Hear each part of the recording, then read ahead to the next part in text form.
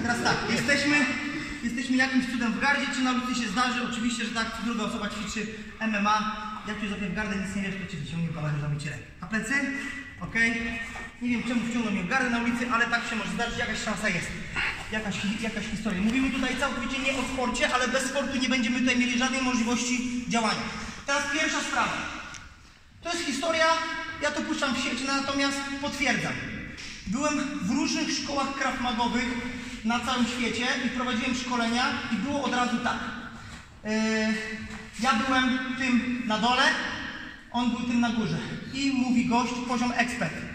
Jeżeli ja generalnie, yy, jeżeli jest taka sytuacja, że jesteśmy tu, ok, tutaj i ja teraz będę chciał stąd wyjść, to dzięki temu, że zaatakuję cię na jajka, wsadzę palec w oko albo ugryzę, ty nie masz szans. Czasami tak było, ale w większości wypadków to były osoby, które nie miały zielonego pojęcia o grapplingu.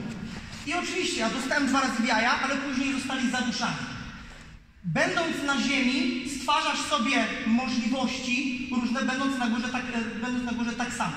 Jeżeli e, osoba, która jest na górze, nie ma pojęcia o podstawach parteru, nie ma pojęcia o podstawach brazylijskiego jiu-jitsu, to czy ona ci będzie chciała wsadzić palec w oko albo walnąć ci w jaja, chuja jej to pomoże, ok? Ponieważ zamiesz jej bazę i udusisz sekundę, zrobisz dźwignię i tak dalej. Żeby kogoś zaatakować w sposób prawidłowy, ok? Na strefę kroku, żeby wyjść szybko na oczy albo na gardło, musisz znać podstawy. W przeciwnym razie, ok? Będziesz coś tu robił, wchodził na gardło na palce w oczy, on cię po prostu ściągnie do siebie, ok? Bunt i teraz będziesz niezdarny. Będziesz robił dziwne ruchy i tego typu historie. I ktoś na poziomie niebieskiego pasa skręci ci rękę, więc dlatego robiliśmy to ćwiczenie.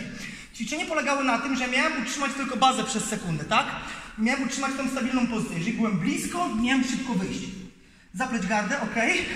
I ściągał mnie do siebie, tak? Ściągał mnie do siebie, ok? Jak była ta sytuacja, ja próbowałem szybciusieńko stąd wyjść, ściągać ręce. Czyli trzymałem ręce, ściągaj, ok? Łapałem po prostu bazę. Kontrolowałem ręce, ok? Trzymałem, ok? Wychodziłem, ręce były blisko, ok? Łapałem bazę, ok? I teraz stąd muszę jednak coś zrobić. Albo MMA, które jest jakby z tej pozycji bardzo skuteczne, jeżeli chodzi o systemy e, uderzano e, parterowe, ale my będziemy chcieli zrobić coś szybciej, tak? Czyli wyobrażamy sobie sytuację, że tam ktoś dopada moją dziewczynę, ja nie mam czasu na rozbijanie gardy, ale mam czas na to. Ok? Czyli, czy on jest w stanie w ten sposób zablokować moje uderzenie na oczy? Jest, jeżeli będzie robił to tak. Jeżeli kontrolujesz ręce i stąd wychodzisz w ten sposób, a ja mu wchodzę w tej chwili centralnie w oko, nie ma opcji, bo ja nie zostawiam ręki, tylko ja robię to i mam cały czas bazę. Ja robię to i robię to i znowu oko, znowu gardło i jestem w pozycji.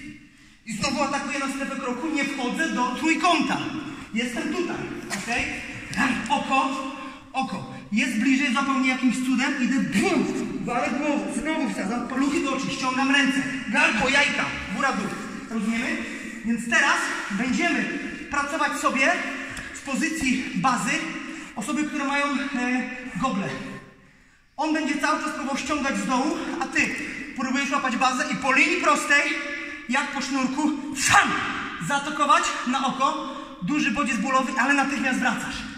Bo może się zdarzyć, że nie trafiłeś, a pamiętajcie o tym, że dla osoby, która trenuje parter, ok, jeżeli ty, po, nie wiem, włożysz jej pięść w gardło z tej pozycji, ok, ok, to nie będzie nic.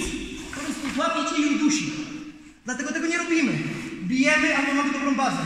Jeżeli uważacie, że dla parterowca yy, przedramię na szyję, taka jakaś dziwna historia, to będzie problem? Nie. Ściągnie i będzie dalej tutaj dusił. Więc my musimy uderzać i wracać z rękami. Uderzać i wracać z rękami. Nie zostawiamy nigdy rąk.